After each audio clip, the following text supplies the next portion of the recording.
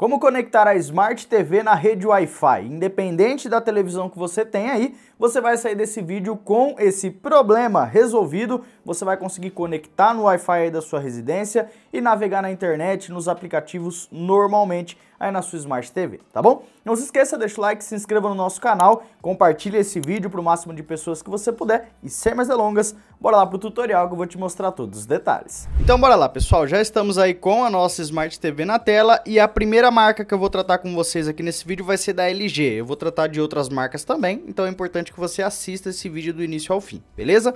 Da LG, ó, esse sistema que você está conferindo aí na tela é o sistema padrão de todas as televisões da LG. Primeiro passo que você vai fazer é, no controle remoto dela, você vai pressionar o ícone de engrenagem para acessar as configurações. Logo em seguida, você vai tocar na opção Conexões no menu e logo após você vai clicar em Conectar a uma rede Wi-Fi. Depois disso, você vai selecionar sua rede Wi-Fi de internet, né, a rede da sua residência e vai colocar a senha do seu Wi-Fi e depois vai clicar na opção conectar. E pronto, você já vai ter conectado aí a sua Smart TV no Wi-Fi, já vai estar tá funcionando aí na sua TV da LG, tá bom? Segundo passo aqui agora é para a TV da Samsung. Como que eu faço, Gustavo? Nas Smart TVs da Samsung, essa foto que vocês estão vendo aí é do, da ilustração do sistema, né, da própria TV da Samsung. Em 90% dos casos é essa interface que você vai ter aí na sua TV. Então o primeiro passo que você tem que fazer é pressionar o botão Home para ver mais opções do sistema da sua TV e logo após você vai clicar em configurações.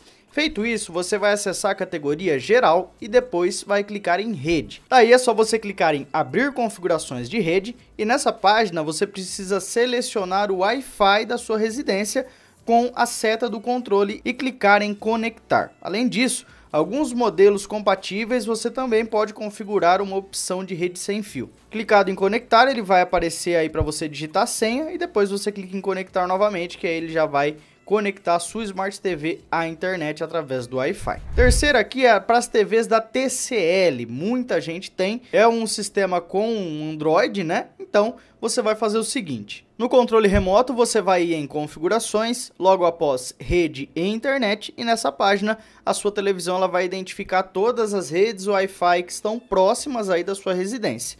Você vai selecionar a sua rede Wi-Fi, inserir a senha e clicar em Enter para se conectar. E pronto, a sua Smart TV já estará conectada no Wi-Fi. Outra opção aqui é para as Smart TVs da AOC, que possui o sistema Roku, igual esse que eu estou mostrando na tela aí para vocês.